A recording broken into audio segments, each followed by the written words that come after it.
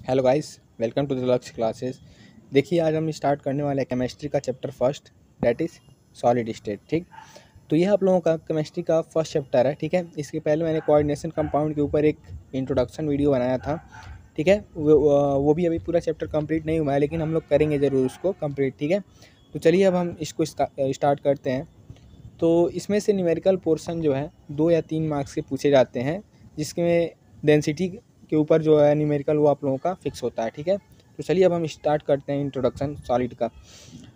तो सॉलिड क्या होता है? Solid state of a matter in which the constituent particles atoms molecules और ion are closely packed in the lattice and are unable to move they can only vibrate along their axes इसका कहने का मतलब क्या है? Solid solid जो है state of matter का, ठीक है? वो कॉन्स्टिट्यूएंट पार्टिकल है। इसमें क्या होते हैं? एटम्स, मॉलिक्यूल्स, आयन्स क्या होते हैं? क्लोजली पैक होते हैं किसी भी लैटिस में और वे मूव करने के एबल नहीं होते हैं, ठीक है? वे अपने वाइब्रेट करते हैं एक्सिस पर। इसके कहने का मतलब क्या हुआ है? पूरा कि जो सॉलिड है वो state of matter state of matter कहने का मतलब क्या है? Anything which occupy space and having a mass, उसी को हम क्या कहते हैं? स्टेट ऑफ़ मैटर कहते हैं। तो सॉलिड को क्या बोला गया है? कि ये स्टेट ऑफ़ मैटर है। जिसमें क्या होता है? जैसे कि अगर हम लोग डायग्राम बनाकर समझना चाहें, हम अगर बनाते हैं कोई भी सॉलिड का क्रिस्टल मान लीजिए बना रहे हैं, ठीक है? चाहे ऐसे कोई सिंपल हम सॉलिड बना रहे हैं, ठीक है? तो इसमें होगा क्या? जब हम यहाँ पे अगर सॉलिड के यहाँ पे जो कॉन्स्टिट्यूएंट पार्टिकल्स होंगे मान लीजिए यहाँ पे कोई पार्टिकल है, यहाँ पे कोई पार्टिकल है, यहाँ पे भी कोई पार्टिकल है। क्योंकि हमको पता है कि जो सॉलिड है, इसके अंदर क्या होते हैं छोटे छोटे पार्टिकल से मिलकर कोई भी सॉलिड बना रहता है, ठीक है? तो यहाँ पे जो सॉलिड हैं इनके बीच का इंटरमालिकुलर फोर्स इतना ज़्यादा है कि यहाँ पे ये क्या करते हैं, एक जगह से दूसरी जगह यहाँ पे आ जा नहीं पाते हैं। बस ये क्या करते हैं, अपने एक्सिस पर एक मीन पोजीशन से लेकर एक्सट्रीम पोजीशन पे क्या करते रहते हैं वाइब्रेट करते रहते हैं वाइब्रेट करते रहते हैं, ठीक है? ये ना तो कभी बाहर जा सकते हैं, ना फिर इधर उधर कहीं ट्रांसफ़र हो सकते हैं। बस वो क्या कर सकते हैं, अपने मीन से एक्सट्रीम पोजीशन पर वाइब्रेट करते हैं, ठीक है? आई होप ये पॉइंट आप लोगों को समझ में आया होगा। They possess comparatively high density and are incompressible ये क्या करते हैं? बहुत ज़्यादा इनकी डेंसिटी क्या होती है? हाई होती है, ठीक है? इसीलिए इनको दबाना क्या होता है? इम्पॉसिबल होता है। इनकी डेंसिटी हाई कैसे होती है? यहाँ पे देख रहे हैं आप लोग कॉन्स्टिट्यूएंट पार्टिकल्स जो होते हैं, क्या होते हैं? बहुत ज़्यादा होते हैं। इनके बीच में गैप बहुत कम रहता है, जिससे क्या करते हैं? ये मूव नहीं कर पाते हैं। और यहीं पे आप अगर हम लिक्विड में देखें या फिर आप लोग गैस की केस में देखें तो कॉन्स्टिट्यूएंट पार्टिकल्स क्या होते हैं? बहुत दूर दूर रहते हैं, ठीक है? लिक्विड में भी बहुत दूर दूर रहते हैं। लेकिन यहाँ पे अगर हम बात करें सॉलिड की, क्योंकि यहाँ पे सॉलिड के अंदर बहुत ज़्यादा पार्टिकल्स एक दूसरे से इंटरमालिकुलर फोर्स से अट्रैक्टेड रहते हैं, ठीक है? इसीलिए यहाँ पे क्या होता है, इनकी डेंसिटी हाई होती है। They possess definite volume, which is independent of volume of the container. आप लोगों ने पढ़ा होगा और शुरू से ही पढ़ते आ रहे होंगे कि जो अगर लिक्विड है, ठीक है, इसको हम किसी भी कंटेनर में डालते हैं, ठीक है तो वो क्या करता है, उस कंटेनर का सेप ले लेता है। लेकिन अगर हम बात करें सॉलिड की तो सॉलिड सॉलिड को हम क्या कर सकते हैं ना कंप्रेस कर सकते हैं, क्योंकि ये क्या होता है रिजिड होता है। कंप्रेस जब नहीं कर सकते हैं और रिजिड होता है, क्योंकि इसके कॉन्स्टिट्यूंट पार्टिकल्स क्या होते हैं, एक दूसरे से बहुत ज़्यादा कोहेसिव फोर्स से क्या होते हैं अट्रैक्टेड रहते हैं, ठीक है? इसी की इसी वजह से हम लोग क्या कर सकते हैं, इसको यहाँ पे हम किसी भी कंटेनर का सेप नहीं दिला सकते हैं, ठीक है? देखिए, यहाँ पे बताया गया है कि ये क्या है रिजिड है नेचर में और इनका सेप जो है वो क्या है फिक्स्ड है। इनका सेप हम लोग बदल नहीं सकते हैं, ठीक है? In a solid the structural unit are held together by a strong cohesive force देखिए, और यहाँ पे अभी बताया गया है जो हमने, अभी को आपको बताया है, किसी भी सॉलिड में जो उसके स्ट्रक्चरल यूनिट होते हैं, वो क्या होते हैं? स्ट्रॉन्ग कोहेसिव फोर्स से अट्रैक्टेड होते हैं। देखिए, यहाँ पे क्या हो जाएगा? आप लोगों का स्ट्रक्चरल यूनिट हो जाएगा, ठीक? तो इस, ये स्ट्रक्चरल यूनिट है जो एक दूसरे से अट्रैक्टेड है। क्या है? ये बहुत ही स्ट्रॉन्ग कोएसिव फोर्स से अट्रैक्टेड होते हैं, ठीक है? चलिए, अब हम देखते हैं जो सॉलिड है। अच्छा ये बताइए आप लोग, हम लोग जो टाइप्स ऑफ़ मैटर होते हैं, उसमें क्या होता है? सॉलिड भी होता है गैस भी होता है लिक्विड ही होता है, ठीक? तो हम लोग क्यों यहाँ पे सॉलिड ही पढ़ रहे हैं? ये आप लोग कमेंट सेक्शन में बताइए। आखिर आप लोग सॉलिड पढ़ रहे हैं तो इसका इंपॉर्टेंस तो पता चलना चाहिए कि आखिर हम पढ़ क्यों रहे हैं, ठीक है? तो नीचे कमेंट में आप लोग आंसर करिए, ठीक है? टाइप्स ऑफ़ सॉलिड सॉलिड के क्या है? मेनली दो टाइप हैं। पहला क्या है? क्रिस्टल सॉलिड जिसे हम क्या कहते हैं? ट्रू सॉलिड के नाम से जानते हैं। ये देखिए कभी कभी एम में पूछ लिया जाता है, ठीक है? ट्रू सॉलिड और यहाँ पे सेडो सॉलिड इसको कहा जाता है मार्फस सॉलिड को, ठीक है? और इसे सुपर कोल्ड लिक्विड के नाम से भी जाना जाता है। ऐसा क्यों होता है? अभी आपको हम ज़रूर बताएँगे, ठीक है? The structural unit are arrange in definite pattern, atoms, molecules ions with definite geometry. क्या बोला जा रहा है? क्रिस्टलाइन सॉलिड क्या होता है?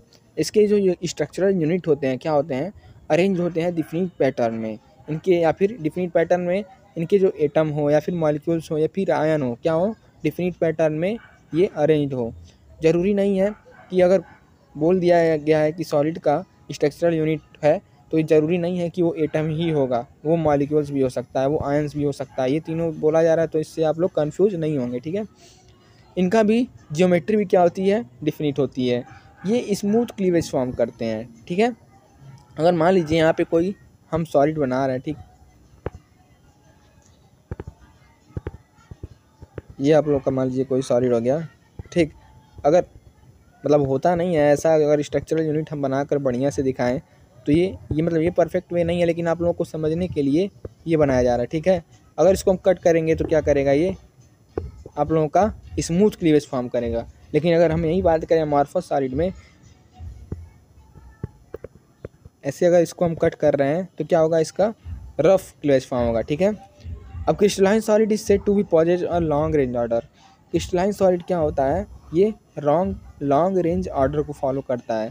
मतलब ये इनके जो ऑर्डर होते हैं क्रिस्टलाइन सॉलिड के, ये कभी भी ब्रेक नहीं होते हैं। क्या? क्योंकि यहाँ पे ये लॉन्ग रेंज ऑर्डर फॉलो करते हैं, ठीक है?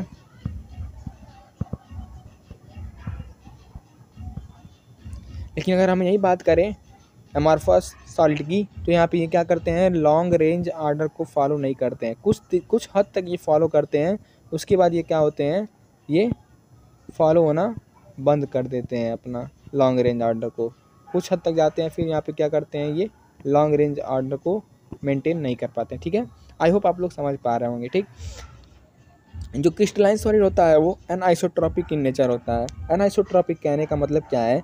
यहाँ पे फ़िज़िकल जो प्रॉपर्टीज़ है, या फिर बोलें तो फ़िज़िकल कांस्टेंट है। कैसा फ़िज़िकल प्रॉपर्टीज़ तो फ़िज़िकल प्रॉपर्टी यहाँ पे बॉइलिंग पॉइंट मेल्टिंग पॉइंट नहीं फ़िज़िकल प्रॉपर्टीज़ में आप लोगों को जैसे कि रिफ्रैक्टिव इंडेक्स हो गया, ठीक है?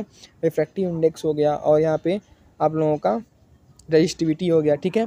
तो ये अगर हम इनके बेसिस पर अगर इनको हम क्या कर रहे हैं, इनको हम अरेंज करेंगे तो इनका जो डायरेक्शन होगा, क्या होगा? सेम होगा और इसका क्या होगा? डिफरेंट होगा, ठीक है? इसीलिए यहाँ पे क्या है, ये आइसोट्रॉपिक इन नेचर है। इस लाइन सॉलिड जो क्या क्या करता है वो? इनकी जो मेल्टिंग पॉइंट और बॉइलिंग पॉइंट क्या होती है? फिक्स होती है, ठीक है? और it have a definite heat of fusion इसके इसका जो हीट ऑफ़ फ्यूजन है, वो भी क्या है? डिफिनिट है, निश्चित है। और एग्ज़ाम्पल के तौर पर अगर हम देखें तो एनएससीएल हो गया डायमंड हो गया सिल्वर आयोडाइड हो गया, ठीक है? तो ये आप लोगों का क्या हो गया? क्रिस्टलाइन सॉलिड या फिर ट्रू सॉलिड बोलें तो। अगर मार्फा सॉलिड को आपको हम बताए थे कि इसे सीडो सॉलिड के नाम से भी जाना जाता है, ठीक है? तो यहाँ पे इसे सुपर कूल्ड लिक्विड हम क्यों कहते हैं? क्योंकि इसमें बहने की फ्लूडिटी की प्रॉपर्टी होती है, ठीक है? इसीलिए हम इसको क्या कहते हैं? सुपर कूल्ड लिक्विड के नाम से जानते हैं, ठीक है? आप लोगों ने देखा होगा, जो सरकारी मकान होते हैं, उनके जो शीशे होते हैं, कांच के शीशे जो होते हैं, वो नीचे से क्या होते हैं, वो मोटे होते चले जाते हैं, ठीक है? वो इफ़ेक्ट होता है, वो ग्रेविटी ग्रेविटी के इफ़ेक्ट के कारण होता है, ठीक है? तो आप लोग एक बार बुक को रीडिंग करेंगे, इसको बेहतर तरीके से समझ पाएँगे, ठीक है? तो एमार्फस सॉलिड में क्या होते हैं, इनके जो स्ट्रक्चर यूनिट होते हैं, क्या होते हैं, वो अरेंज नहीं होते हैं डिफिनिट पैटर्न को फॉलो नहीं करते हैं, ठीक है? इसका रफ क्लीवेज होता है, ये आप लोग को हम बता चुके हैं। स्लाइन सॉलिड क्या करता है? ये शॉर्ट रेंज ऑर्डर को फॉलो करता है, कुछ कुछ हद तक फॉलो करता है, उसके बाद क्या करता है? ये अपना ऑर्डर को चेंज करने लगता है, ठीक है? ये भी आप लोग को हम बताएँ आइसोट्रॉपिक भी बताएँ, ठीक है? जब फ़िज़िकल प्रॉपर्टीज़ जैसे कि रिफ्रैक्टिव इंडेक्स हो गया और रजिस्टिविटी हो गया, ठीक है? तो इसको अगर हम, इसको हम अगर क्या कर रहे हैं डायरेक्शन में अगर हम लोग क्या कर रहे हैं, इसको इस वैल्यू को रख रहे हैं तो इनकी जो प्रॉपर्टी होगी, क्या होगी वो डिफरेंट होगी, ठीक है? इनकी क्या होगी? सेम होगी, ठीक है? It do not have a melting it do not have a fixed melting point and boiling point इनका जो मेल्टिंग पॉइंट और बॉइलिंग पॉइंट है, क्या है वो? फिक्स्ड नहीं होगा। और इसकी बात करें तो इनका हीट ऑफ़ फ्यूजन भी डिफिनिट नहीं होगा। एग्ज़ाम्पल के तौर पर इसका क्या हो जाएगा? ग्लास हो गया मोम हो गया, ठीक है? रबड़ हो गया, ठीक? रबर हो गया प्लास्टिक हो गया, ठीक? ये सब आपके क्या हो जाएँगे? एग्ज़ाम्पल के एग्ज़ाम्पल हो जाएँगे, ठीक है? तो आई होप आप लोगों को समझ में आया होगा। So thanks for watching keep learning and keep supporting until the next video तो आप लोगों को, आप लोग से हम लोग नेक्स्ट वीडियो में मिलते हैं और चैप्टर को कंप्लीट करेंगे। Thank you